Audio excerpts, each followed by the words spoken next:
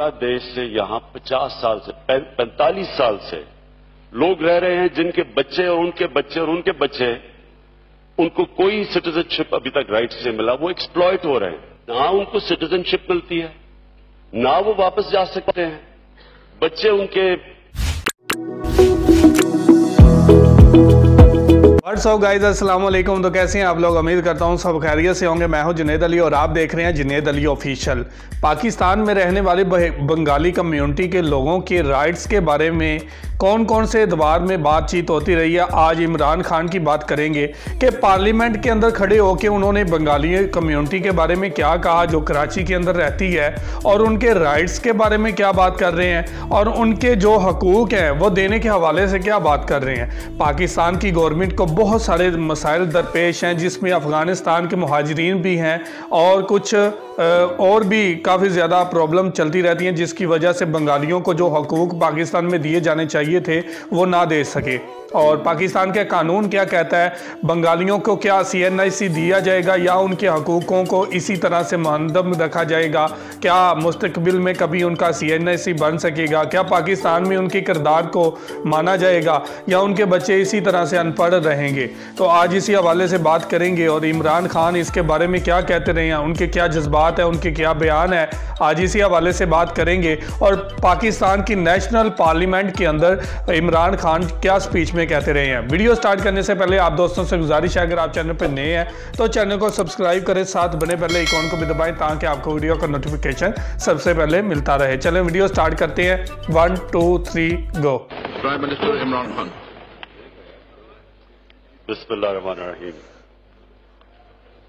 जनाब स्पीकर मेरे कॉलीग हैं अख्तर मैंगल इन्होंने बिल्कुल ठीक कहा कि हमने इनके साथ एक माहा साइन किया कि जो रेफ्यूजीज हैं, जो अफगान रेफ्यूजीज उनको वापस जाना चाहिए। बिल्कुल ठीक है। लेकिन एक पाकिस्तान का हमारा जो कानून वो कहता है 1951 के अंदर एक्ट है, कि जो बच्चे यहाँ पैदा होते हैं पाकिस्तान में, उनका राइट है पाकिस्तान की सिटीजनशिप का। ये सिर्फ़ पाकिस्तान में नहीं, ये अमेरिका में, दुनिया के आम मुल्कों में, अगर जो बच्चे एक मुल्क में पैदा होते हैं, उनका ऑटोमेटिक राइट हो जाता है। रेफ्यूजीज जो टेम्परी आते हैं, उनके लिए और कानून है। और जो मैं स्पेसिफिकली जो बात कर रहा हूँ कि बांग्लादेश से यहाँ 50 साल से 45 साल से लोग रह रहे हैं, जिनके बच्चे और उनके बच्चे और उनके बच्चे, उनको कोई सिटीजनशिप अभी तक राइट से मिला, वो एक्सप्लॉयट हो रहे हैं। कराची की मैं बात कर रहा था ये आ, अपने कॉलीग के लिए मैं कहना चाहता हूँ स्पेसिफिकली कराची में उनको ना उनको सिटीजनशिप मिलती है ना वो वापस जा सकते हैं। बच्चे उनके आ, आ, बच्चों के बच्चे हो चुके हैं तो उनसे क्या करना है? मेरा सवाल यह है कि या ना आप उनको इस मुल्क से बाहर भेज सकते हैं ना आप उनको सिटीजनशिप दे रहे हैं ना वो शहरी हैं वो वो नॉन शहरी बन चुके हैं, वो एक्सप्लॉयट हो रहे हैं। वो, उनके अगर वो तनख्वाह पे अगर आम पाकिस्तानी को तनख्वाह मिलती है बीस हज़ार की या पंद्रह हज़ार की, उनको आधी तनख्वाह पे बेचारे काम करते हैं। तो मैं तो एक इंसानियत के तकाजे पे कह रहा हूँ कि वो इंसान है।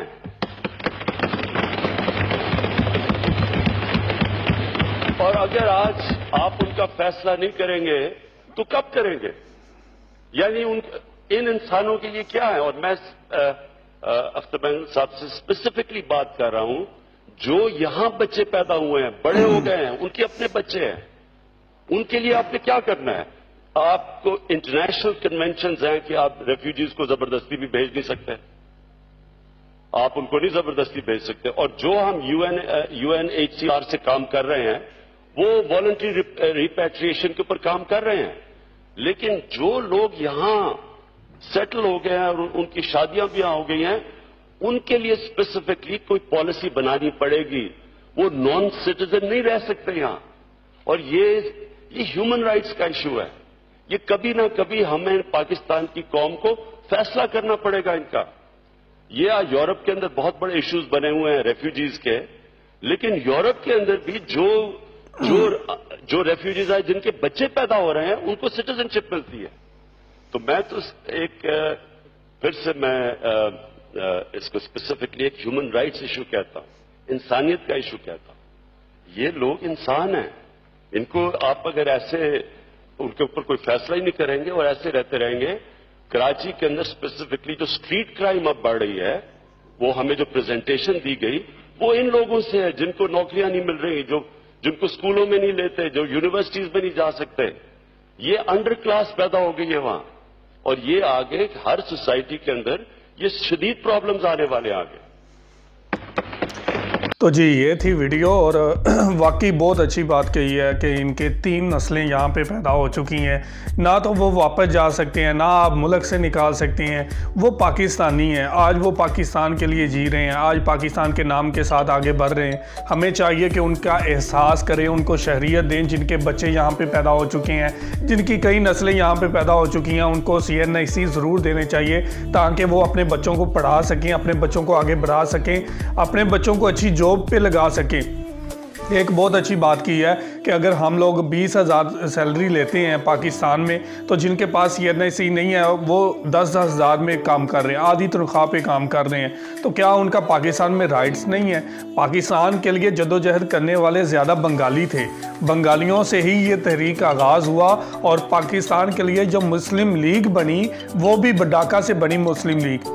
और पाकिस्तान के अंदर जो करारदाद पेश की गई, पाकिस्तान बनाने की करारदाद, वो भी एक बंगाली थे कि फजलुल हक जिन्होंने ये करदा करारदाद पाकिस्तान पेश की और उसके बाद कायद अजम मोहम्मद अली जना की जेर सदारत ये जो इजलास हुआ तो ये भी बंगाली थे। बंगाली और पाकिस्तान की जंग में सबसे पहले शहीद होने वाला जो था, वो भी एक फ़ौजी, वो भी एक बंगाली था और बंगालियों का किरदार पाकिस्तान के लिए बहुत अहम है।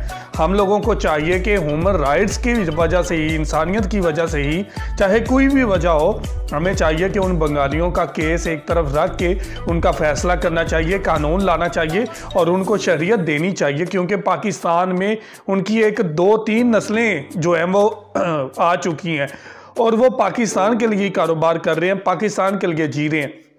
अगर हम लोग ऐसा नहीं करेंगे तो हमारे लिए मसाइल भी बढ़ेंगे और मुश्किल भी बढ़ेंगी, क्योंकि अगर हम लोग उनको सी एन सी नहीं देंगे, उनके बच्चे नहीं पढ़ेंगे तो ज़ाहरी बात है वो क्राइम की तरफ़ जाएँगे और कुछ भी करने के लिए वो तैयार हो जाएँगे, जब उनको पाकिस्तान में जॉब नहीं मिलेंगी, पाकिस्तान में उनको हकूक़ नहीं मिलेंगे, पाकिस्तान के अंदर उनका कोई मुस्तबिल नहीं होगा तो वो क्या करेंगे? ज़ाहरी बात है वो क्रिमिनल एक्टिविटी की तरफ़ जाएँगे और हम लोग इसके ऊपर शोर मचाएँगे कि पाकिस्तान के अंदर बदअनमानी बहुत ज़्यादा है। तो बदअनमानी का भी जिम्मेदार हमें ही ठहराया जाएगा जब हमारी कौम ही हमारे साथ ठीक नहीं है। तो इसकी मेन वजह गवर्नमेंट है। जब तक गवर्नमेंट अच्छे फैसले नहीं करती तो ये इशू और बढ़ता जाएगा। और जो अफ़गानी है, उनका मसला और है। ये अफ़गान, बंगालियों का मसला और है। बंगाली शुरू दिन से हमारे साथ जो रह रहे हैं, उनको शरीय देना बिल्कुल हक है और ये राइट्स हैं। और मैं भी अपनी वीडियो के ज़रिए यही कहना चाहूँगा, जो भी पाकिस्तान के अंदर बंगाली रहते हैं वो भी ज़रूर कमेंट करें और मेरे साथ अपना नंबर भी शेयर करें। और मैं इंशाल्लाह इसके ऊपर एक पूरा वर्क करने जा रहा हूँ। मैं, सजाद और साथ में रेहान भाई, हम लोग इसके ऊपर प्रॉपर एक प्रोजेक्ट बनाने जा रहे हैं बंगालियों के राइट्स के बारे में, बंगालियों के हकूक़ के बारे में। तो आप भी हमारे साथ रबता करें, आप भी हमारे साथ कनेक्ट हों, ताकि हम लोग भी आपके साथ मिल के आपकी आवाज़ बन सकें और पाकिस्तान के ईवानों तक या सिंध गवर्नमेंट तक या पाकिस्तान की फेडरल गवर्नमेंट तक आपकी आवाज़ जो है वो पहुँचा सकें। और जहाँ जहाँ तक होगा, हम लोग ज़रूर कोशिश करेंगे इसके लिए। और ये राइट्स हैं आपके, पाकिस्तान की गवर्नमेंट भी इसके हक में है, पाकिस्तान की जमातें भी इसके हक में है तो एक कानून साज करनी चाहिए, कानून साजी करनी चाहिए, जिसके अंदर आपको बंगालियों को लाजमन सी एन सी देने चाहिए। और ये इमरान खान का भी पॉजिटिव जो बयान है, ये भी बहुत अच्छा है, और इन इसके ऊपर भी अच्छे तासरात आएँगे। पाकिस्तान की कोई भी गवर्नमेंट आई हो पाकिस्तान की सभी गवर्नमेंट जो है, वो बंगालियों के हक में आई हैं बयान भी देती रही हैं, लेकिन काम कोई नहीं करता रहा। और इमरान खान से यही कहेंगे कि आपके साथ भी उम्मीदें इनकी जुड़ी हुई हैं तो आपसे भी यही इल्तजा है कि अगर आपने ये बात की है उनके राइट्स के बारे में, उनके हकूक़ के बारे में, आपने तो नज़दीक से देखे हैं सारे वाक़ात और आपको तो सभी मसाइल के बारे में पता है, बंगालियों की लाइफ के बारे में पता है। आप तो ढाका के अंदर क्रिकेट खेलते रहे हैं, जो प्यार और मोहब्बत आपको उस बांग्लादेश से मिलती रही है, आज उन्हीं बंगालियों की यहाँ पे जो ज़रूरियात है, उनको पूरा करना भी आपका हक है और आपके ही ज़िम्मे ये आता है क्योंकि आप पाकिस्तान के प्राइम मिनिस्टर हैं। तो हमें आपसे यही एक्सेप्ट है कि आप इनके मसाइल भी हल करेंगे, इनको सी एन आई सी भी बना के देंगे। इन इसके ऊपर भी हम लोग भी आवाज़ उठाएँगे, आप तक पहुँचाने की कोशिश करेंगे। पाकिस्तान के इलेक्ट्रॉनिक मीडिया हो या सोशल मीडिया हो, दोनों तरीक़ों से आप तक अपनी बात पहुँचाने के लिए इन जदोजहद भी करेंगे। जब हमारी आवाज़ आप तक पहुँचेगी तो हमें उम्मीद है कि आप भी हमारी बात सुन के, इनके राइट्स इनके हकूक़ जो हैं, वो इनको देंगे और आसानी के साथ इनके सी एन भी बन सके, इनके बच्चे भी पढ़ सकें, पाकिस्तान के अंदर अच्छी जॉब्स भी कर सकें। तो ये था आज का रिएक्शन आप इस वीडियो के बारे में क्या कहना चाहते हैं, ज़रूर कमेंट करके हमें बताइएगा। बहुत शुक्रिया।